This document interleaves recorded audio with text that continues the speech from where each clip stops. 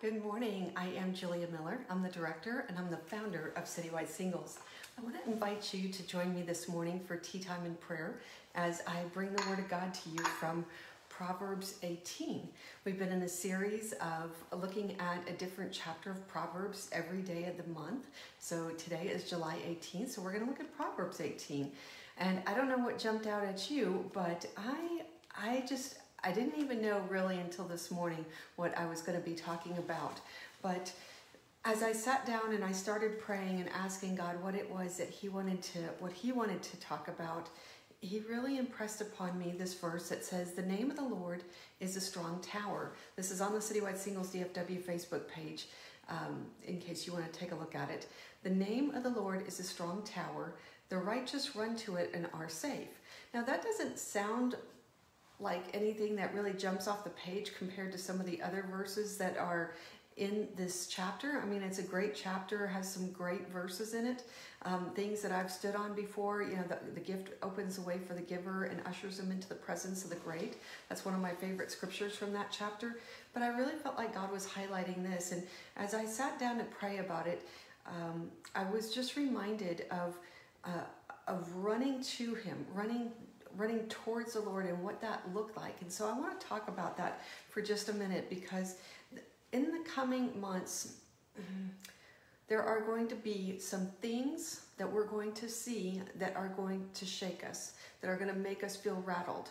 And next month, I have pretty much determined that I'm going to go through uh, verse by verse on, on Psalms 91. Psalms 91 is the protection scripture that, that talks about um, about hiding ourselves in the shadow of his wing and how to find refuge in God. And this is a pivotal time in the history of our nation, and there's just a lot of volatility uh, politically and, and otherwise. And I think it's that we're feeling, um, as I sat down and I was praying about this, and what I want to show you is just how I do this, but as I sat down and I, I just wanted to pray and just say, God, you know, what do you want to talk about? I literally get out a prayer journal and I put on some praise and worship music and I just say, God, and as I write out the words, God, what do you want to talk to me about this morning? As I'm writing that out, usually I'll start to hear I'll start to hear something from the Lord. Usually it's either a picture or a word or maybe a scriptural reference, something. And you know, the only thing that was coming to mind was kind of a picture of a butterfly that was trying to break out of a cocoon and i was hearing the word metamorphosis like we're going through birth pains that something is happening and and the lord said i'm doing a new thing. Do you not perceive it? And i was like wow okay. And then this this verse that um, in proverbs 18 jumped off the page at me. The name of the lord is a strong tower. The name of the lord is a strong tower. The righteous run to it and are safe and I just thought about all the times that I would run into the presence of God when everything was going crazy. There's been times I've been serving uh, at a particular church, and then all of a sudden, people got upset about things and and were offended about things. Some things didn't even make sense to me. And I said, you know what? I, I, I don't know. I, I don't know. All I know is I'm going to go back to my little prayer corner here, my, my little uh, my little secret place and, and, and I'm going to sit down and if you guys need me, just come get me. And I want to talk about what that looks like because that's really the, the, the abundance of, of how I'm able to teach what I teach is really, it comes out of that secret place. Um, Psalms 91 says, He who dwells in the shelter of the Most High will rest in the shadow of the Almighty. And so, what does this look like to dwell in, in the shelter of the Most High, to rest in the shadow of the Almighty? What does that look like exactly? I want to tell you about a friend of mine named Catherine. Catherine is uh, this beautiful African American woman that I met through um, a prayer group. And it wasn't just any prayer group, this was um, a, a, group of ladies, a small group of ladies that we had been handpicked. I don't even know how I got picked for this, but um, it was when they were building the Gateway Southlake campus over off of 114. It was just a piece of land, and they had a construction crew out there, and they had a construction um, mobile home type thing out there. And uh, a lady who was uh, in leadership had, had come into leadership position said we uh, she handpicked certain ladies to be part of this prayer team to pray over the land. Somehow I was I was asked to do that. I thought, wow, this is a privilege, okay. And this was probably about 10 years ago. And so every Saturday morning, me and about 10 other ladies would meet in this trailer, this construction trailer, and we would pray over the land, pray over the construction of that, uh, that facility being built. And as we're sitting there, I mean, it just you could just feel the power of God just rattling in this place. And I thought, wow, like how did I get here? Like how did how did I get chosen to do this? And one of the ladies that was there was Catherine. I didn't know Catherine at the time. Uh, come to find out, she was also uh, a realtor.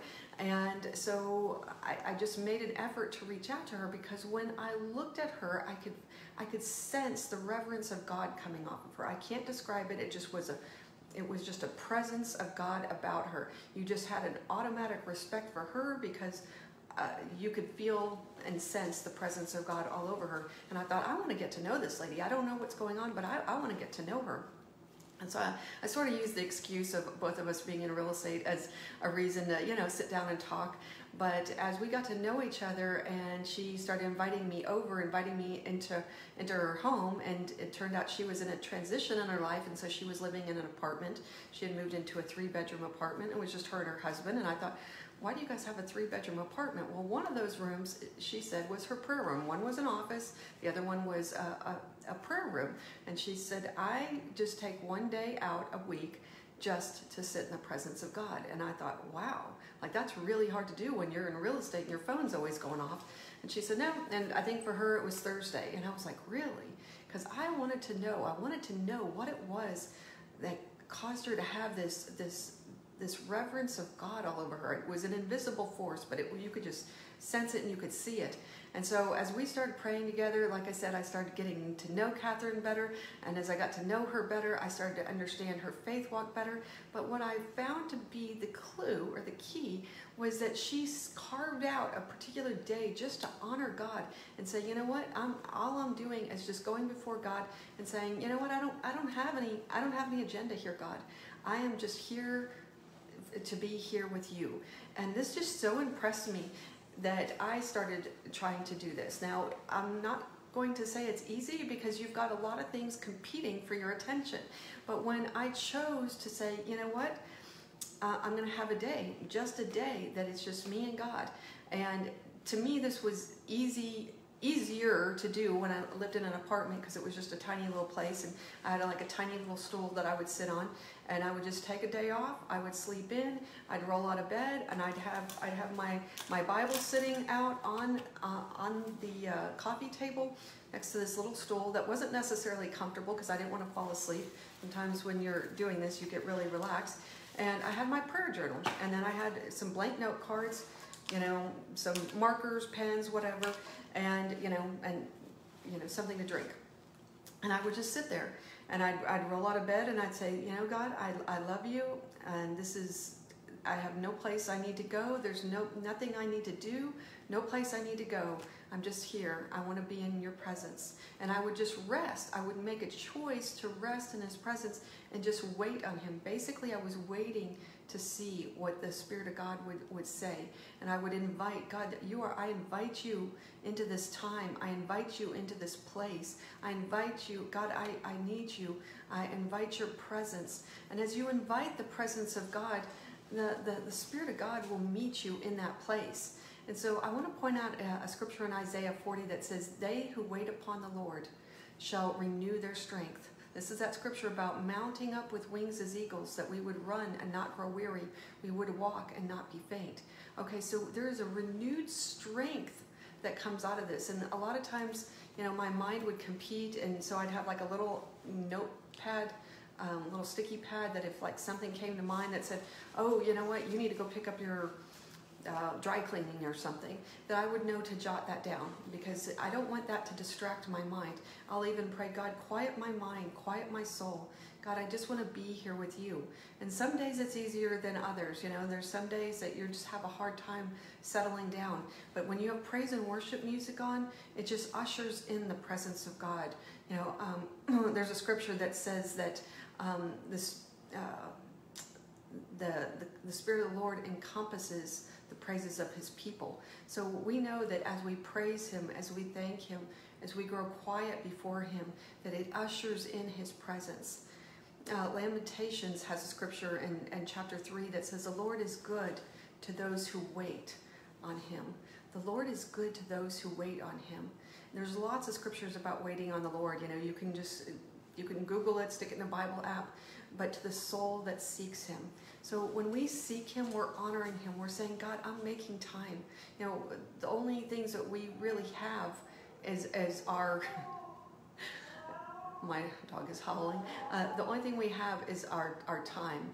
So, what I want to point out to us is just to make it a goal, to make it our goal to strive to enter into His rest. Um, as we enter into His rest and we usher in His presence, we'll start to get um, just bits and pieces of what God wants to say and just jot those things down. It may not make sense at the time, but then as, as you have that jotted down, you can pray over it and say, God, what is it that you're trying to say to me through this scripture? What is it that you're trying to say about these words that you're giving me? God, what is it that you're laying on my heart? And you'll be surprised what springs up out of it. But it, it's a way of, of of feeding your spirit man because your spirit man has a long a longing to commune with the spirit of God. This is our tie to God, and this is how we end up with a renewed sense of strength. Our body, our mind, everything can go harder and faster and longer when we have a renewed spirit. So I want to encourage you just to sit in the presence of God and allow this, the presence of God just to permeate you and to minister to you because God is loving and He's got a lot to say.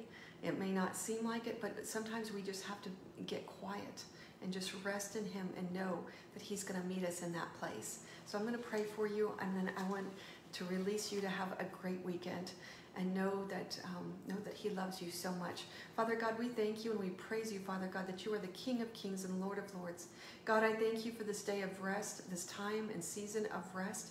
God, I pray that we would take advantage of this time and usher in your presence and rest in you and cause you to um, to refuel us, to re- refill us, to um, re-energize us, to give us new strength, Father God. God, I pray that we would mount up with wings as eagles, that we would be able to run the race that you've set before us, and that we wouldn't grow weary, Father God. God, your word says, do not grow weary in well doing at a proper time that we would reap a harvest. So, God, we thank you and we praise you right now in Jesus' name that you are good all the time. And God, I thank you for a renewed sense of strength, a renewed sense of our, our connection to you, Father God, a renewed, uh, revived relationship with you, Father God. God, we worship you, we praise you, we glorify you, and we call you holy. And I plead the blood of Jesus over each and every person here today. In Jesus' name, amen. I pray that you are blessed today. Know that I love you, but more importantly, God loves you. He's got a good and awesome plan for you, plans to prosper you and to, to bless you, to, to bring you into the fullness of everything that He has for you. Just turn to Him and know that He is God and that, that you are His child. And it's His joy to, to, to love you and, and to, to, to pull you in close to Him and to nurture you. I pray that you have a great Saturday. Mm, I love you.